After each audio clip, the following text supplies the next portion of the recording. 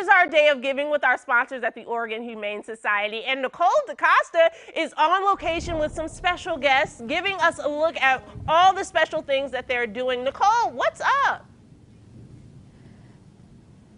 I mean, could there be a better day? It is early in the morning. We're here at Oregon Humane Society, one of our favorite places in all of Portland. And it's such a special day, like you guys were just talking about. It's Doggie Dash Challenge Day. I'm here with Tanya, and Tanya has a new friend. Tell us about the kitty that you're holding. This is lovely little Yellowstone, and our kittens always start off cute and lovely like this. But I wanted to talk today a little bit about how important it is for people to come and get information prior to these guys growing up so that you can avoid all those pitfalls and not be calling us on our free behavior helpline with issues down the road.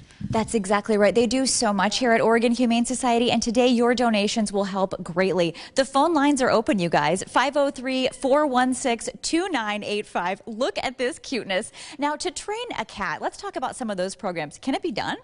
Absolutely. Cats are very, very smart. In fact, they train us really well, don't they? so um, I think the key with cats is to be able to provide them with the enriched environment and to learn all about their needs so that you can prevent those behavior problems in the future. Exactly, and it's probably partially training the owners as well. I mean, let's yeah. be honest, we all need some help in this department. We are in Manners Hall, the be beautiful, beautiful building. We have another building going on out back. It's brand new. You guys, there is so much happening at Oregon Humane Society. It's kind of unbelievable. Every week, your donations will help. Just a couple things to get you guys excited to pull out your wallets this morning. $30 will feed three pets in the shelter for a week. $30, no big deal. $50 is going to vaccinate 25 pets. 100 $100, easy peasy. Spray and neuter three pets. So this morning, as we're you know digging into our wallets it's important to remember how much you guys do do here and how many pets are you know finding their loving homes through coming through these doors. 6000 pets last year is that correct? Yeah that's correct. Um, and i think one of the things we also do that people may not know is behind the scenes we're saving the lives of really frightened cats.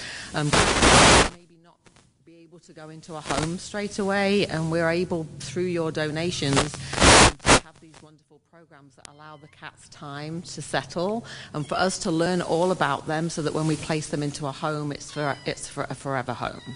We want a forever home. Okay, you guys, this is the time 503 416 2985, OregonHumane.org. We have more later in the show for you guys, but right now, time to play with some cute kittens. All right. Thanks, Nicole. That's right. A forever home is the goal. Now it is time